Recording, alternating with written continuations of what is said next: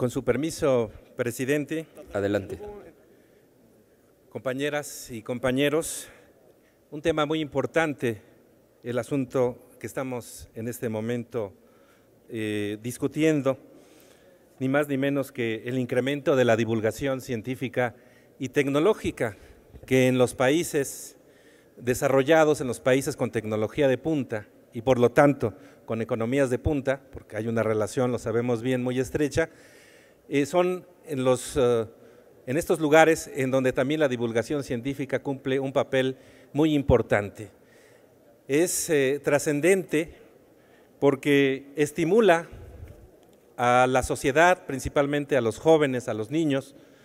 a interesarse en la ciencia y la tecnología y a formar desde la infancia o en la juventud el interés por desarrollar carreras científico-tecnológicas. Además, es como un reflejo, un espejo, precisamente en estos países,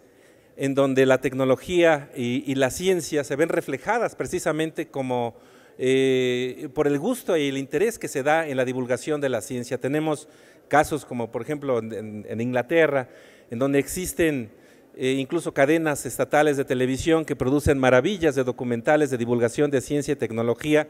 que fomentan y retroalimentan en estos países el interés por este tema tan importante que finalmente, y aparte de conducir al desarrollo científico y tecnológico, también conduce al desarrollo económico de estos países. No es el caso, por desgracia, de México, en donde vemos una ausencia casi total de divulgación científica y tecnológica en medios de comunicación principalmente, en donde aparece la ciencia y la tecnología eh, únicamente como una nota eh, curiosa, una nota de colores utilizada en, estos medios, pero no se profundiza en el impacto que tiene precisamente la ciencia y la tecnología. No hay una producción de divulgación de ciencia y tecnología, por eso es muy importante eh, el, dictamen precisamente que va, a ser, que, que va a ser aprobado en unos minutos más, esta adición que se hace por parte de la Comisión de las Comisiones Unidas de Educación Pública y Servicios Educativos en Ciencia y Tecnología para adicionar al artículo 2 de la Ley Orgánica del Consejo Nacional de Ciencia y Tecnología en materia de divulgación científica. La investigación científica, el desarrollo tecnológico y también hoy en día muy, muy de moda la innovación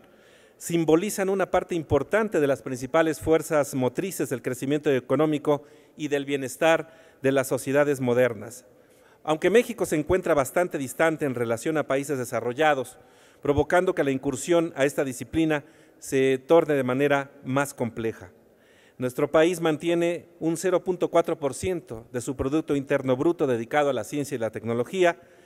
lo cual representa pues, un crecimiento en relación al 2013, sí, pero todavía eh, muy lejano al escenario ideal que ya ha sido descrito por mis compañeros que han participado anteriormente, de alcanzar esa recomendación de la UNESCO, que es del 1% por lo menos, para que podamos comenzar a despegar y a desarrollar la ciencia y la tecnología. E insisto en ello, pues de manera natural se da también el desarrollo económico, se, dará el desarrollo económico de México. Eh, les comento que, por ejemplo, eh, si, comparamos eh, este escenario en México de inversión en ciencia y tecnología con las cifras de nuestros socios comerciales que muestran una mayor inversión en esta materia. Pongamos el caso como Corea, en donde se tiene una inversión superior al 3.7% de su Producto Interno Bruto, muy similar a los países desarrollados, en donde se han establecido políticas contundentes que impulsan la formación de capital humano altamente especializado, a la creación de infraestructura de investigación y desarrollo, a la generación de incentivos para las empresas que inviertan en ciencia y tecnología, a la creación de esquemas de integración productiva de alta tecnología, al fomento de sectores y la valoración del conocimiento mediante programas educativos de divulgación científica entre la sociedad en general. De ahí que no sea una casualidad que los países que invierten, como ya les comentaba, un alto porcentaje de su Producto Interno Bruto para el fomento, la investigación, la innovación y el desarrollo tecnológico y en particular para la formación de capital humano altamente capacitado, se ubiquen entre los primeros lugares de competitividad a nivel mundial. Hay una inequívoca relación. En los últimos años, las economías en donde la competitividad se sustenta en la investigación e innovación de manera constante, han incrementado la generación de empleos, el ingreso per cápita y han reducido las cifras correspondientes a la pobreza, además de que han mejorado su nivel educativo y como consecuencia la calidad de vida de toda su población. Sin embargo, no depende solamente de los recursos presupuestales destinados al sector de ciencia y tecnología, sino el establecer políticas públicas claras con el fin de que los recursos generen resultados en corto, mediano y largo plazo, además de posicionar a una nación en el nivel competitivo que busca alcanzar. La experiencia que tienen los países desarrollados en esta materia se ha basado por lo general en estrategias de largo plazo y en la fuerte inversión canalizada hacia las actividades de investigación, innovación y desarrollo tecnológico, pero también, eh, e insistimos en este punto, también en la divulgación de la ciencia y tecnología.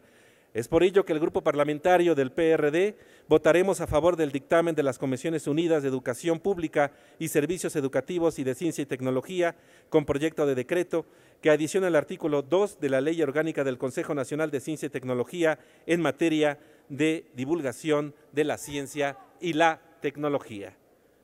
Es cuanto, señor presidente.